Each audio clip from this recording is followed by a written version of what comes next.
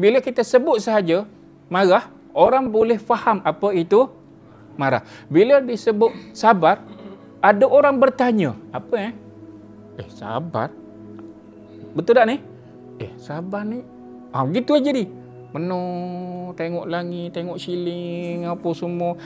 Kenapa? Kerana maksud itu tak pernah ada dalam diri kita. Makna itu tak pernah pun melipat dalam rasa kita. Tak ada pun. Kamus tentang makna tentang sabar ni tak ada dalam pengetahuan kita seolah-olah. Maka bila dilontarkan hari ini, maka kita boleh menjawab dan rupanya kita baru tahu bahawa sabar, oh rupanya sifat baik. Kan? Sabar. Oh, sabar rupanya baik. Sabar rupanya tenang. Kan? Sabar itu rupanya menahan. Sabar itu sifat. Yang itu yang paling tepat. Sabar adalah sifat. Okey?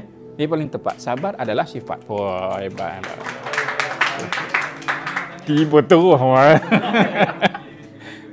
Okey, baik. Berikut sekarang, sekarang, sekarang saya nak saya nak ajak pada semua sekali kita capahkan makna ni eh. Kita capahkan. Kita buka ruang supaya perkataan sabar ini yang selama ini kita dengar, kita maklum, kita tahu ia adalah sesuatu yang disebut sifat yang baik. Dia membawa ketenangan. Jadi saya nak minta semua sekali sabar yang saya lafazkan. Cuba. Boleh kongsi dengan saya. Tadi sabar yang saya maksudkan. Boleh ikut dah? Baik, sekarang sabar yang saya lafazkan. Ha. Baiklah, saya contohkan begini. Supaya awak semua sekali kita dapat faham. Sabar yang saya lafazkan, sabarlah! Contoh, contoh. Kuat ke suara saya? Terkejut habis. Boleh ikut? Maksudnya sabar yang saya lafazkan, ada masa saya lafazkan, sabarlah! Boleh ikut? Baik, awak lafazkan sabar macam mana? Ah, nampak dah bau faham. Oh. Chill lah. Oh, okay, chill lah. Okay, okay. Lain, lain, lain. Ni yang yang biasa kita gunakan. Lain. Sabar. Okey, baik. Terima kasih. Hai. Kejap, kejap. Okey, baik. Terima kasih. Kalau menggunakan perkataan sabar sahaja, awak lafazkan? Abang yang pakai cumi mata belakang, pakai cap tu pula. Dia beratur sangat. Hmm. Nama? Aimin. Aimin. Okey. Sabar yang saya lafazkan? Sabar. Ah gitu kan? Sabar. Awak awak nama tadi. Sabar yang saya lafazkan. Kok ia pun sabarlah.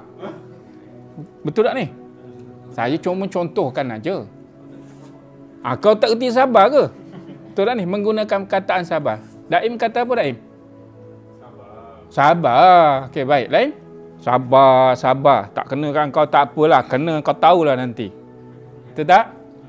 Maksudnya, perkataan sabar yang kita gunakan selama ini seolah-olahnya seperti sebuah entiti. Seperti makhluk yang begitu menggerunkan. Boleh ikut? Kenapa? Kerana bila kita ditimpa suatu musibah, datang orang, seseorang itu bagi tahu pada kita, aku harap kau sabar ya. Betul kan? Menggunakan perkataan sabar menyebabkan orang itu marah kita balik. Bila, aku tak macam ni, sabar, sabar. Sedaplah kau suruh aku sabar. Kau tak kena. Ha, betul kan? Baik, kalau itu yang kita maksudkan berserta dengan lafaz bahawa selama ini kita amat-amat menjauhkan diri dari rahmat Allah. Kita amat-amat nak cakap apa eh? Terlalu terlalu membuang terlalu melepaskan satu sifat. Satu sifat yang membawa kita kepada sesuatu yang amat besar selepas